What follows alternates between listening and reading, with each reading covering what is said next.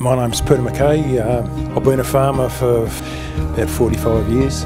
My name's Lindsay Murray. I'm the manager of Dingo Lane Farms on the Myocum Valley of on the north coast of New South Wales, the far north coast. Just Maynard from Narromine, New South Wales. Our property called Willydar is uh, 1,500 hectares on the central west plains, a bit west of Dubbo in New South Wales. Brian Ward. I've got a small property, 140 hectares in the Bowna area, which is just north of Albury.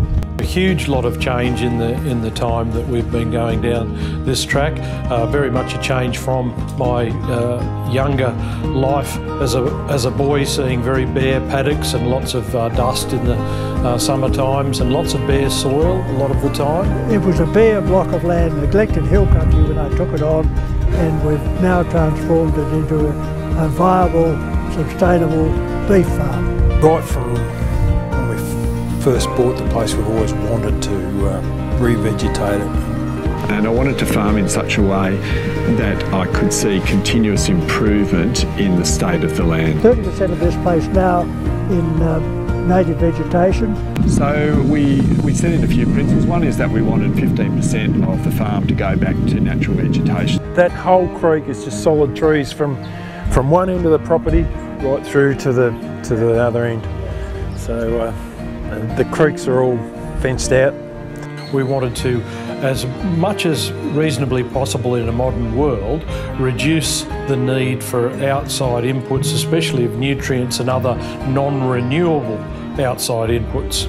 And uh, so that's where our diversity work has centred upon. Fencing off 30% uh, of the place, it certainly hasn't decreased our productivity. In fact, it's increased our productivity.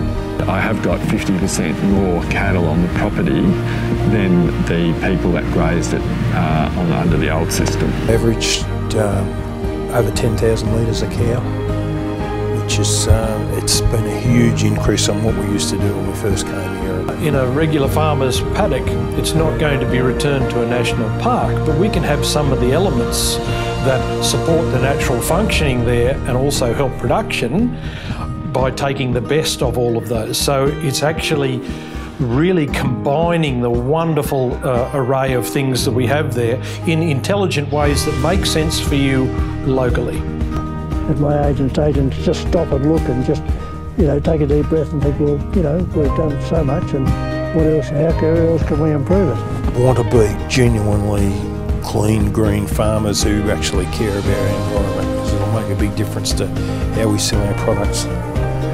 We're very lucky in this country and we need to appreciate it by looking after what we've got without compromise. I've never looked back since. I've never been happier uh, in my whole life.